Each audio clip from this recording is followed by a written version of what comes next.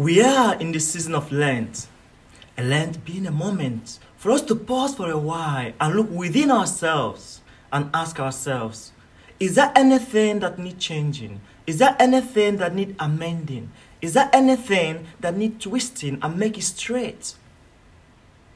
Today, we are going to focus on new beginning.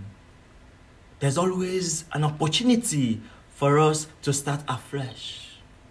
And that opportunity goes back to Jesus. You know, there are many times in my life when I found myself in a difficult situation and I thought that it's going to it was going to be a dead end. I thought that would be the finish. I was angry within myself. I was saddened with the situation. But then, when I prayed about it, I was given the serenity to find out that there's always a way out, that Christ is always with us. Every morning when we wake up and hears the cry of the bird or the, or the cry of an animal, it tells us that God is with us.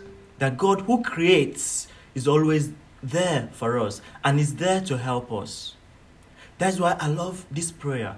Lord, give me the serenity to understand that I can do many things.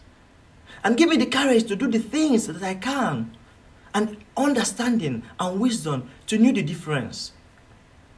God is always there for us. Never give up. Go to Him, Christ, our Emmanuel. God is with us. As we journey through this Lenten season, I would like us to ponder on some points. First, think it's never too late for a fresh start. And also, the gospel tells us ask and it will be given to you, search and you will find, knock and the door will be open for you.